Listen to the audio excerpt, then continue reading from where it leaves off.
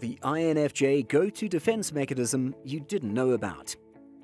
Defense mechanisms are normal behaviors people use to separate themselves from certain unpleasant events, actions, or even thoughts. These psychological strategies may help people distance themselves from threats or unwanted feelings such as guilt or shame. For INFJs, it's all or nothing for them, and they have several defense mechanisms that you need to know. Hey guys, welcome back to Brainwatched.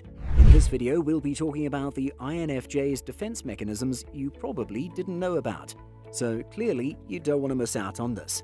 But before we begin, make sure to like, comment, and subscribe to the channel so you're always up to date with our latest videos as soon as they're uploaded. Now, without further ado, let's get started with today's video. Hypervigilance and INFJ's overt perfectionism. This disarms the bullies who can hardly pick something to shame you or offend you about. On the negative, the INFJ is totally focused externally and ends with burnout. Denial. Denial is a commonly known defense mechanism. Denial can occur when you refuse to accept reality or particular facts. You find yourself blocking external events or circumstances from your mind to not have to deal with the emotional impact. In other words, INFJs try to avoid hurtful feelings or events. The phrase, they are in denial, is commonly understood to mean a person avoids reality despite what may be evident to people around them. Suppressing their opinions. It means to suppress the intuition and react logically to what you see. By doing so, the INFJ complies with the social norm of logical thinking of all the organizations and more, and minimizes the risk of being exposed as an oddball displacement. You direct strong emotions and frustrations toward a person or object that does not feel threatening. This allows the INFJ to satisfy an impulse to react, but you do not risk certain consequences. A good example to describe this defense mechanism is getting angry at your spouse or child because you, an INFJ, had a bad day at work or something of the sort. None of these people are the target of your strong emotions, but reacting to them is likely less problematic than responding to your boss self-isolation.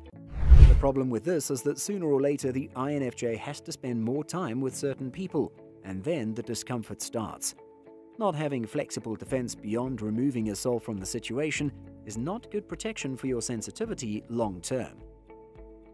Undoing. Undoing is an INFJ's attempt to take back an unconscious behavior or thought that is unacceptable or hurtful.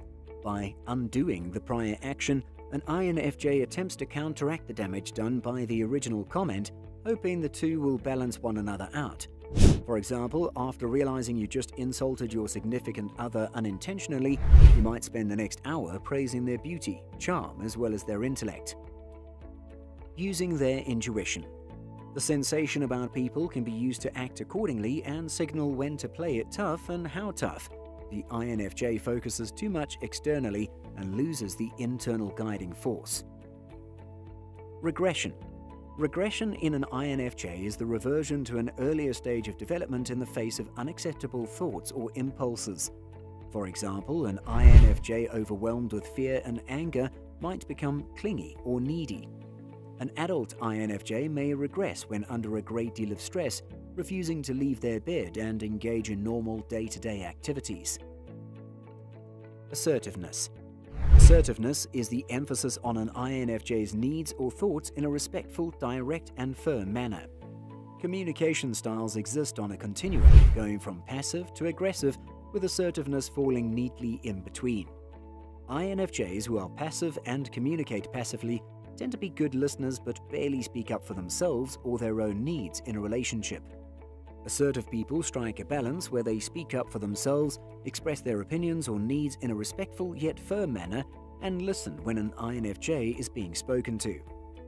Becoming more assertive INFJs is one of the most desired communication skills and helpful defense mechanisms most people want to learn and benefit from. Well guys, that's all we have for you for today.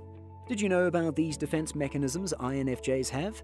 Get involved and let us know in the comment section down below.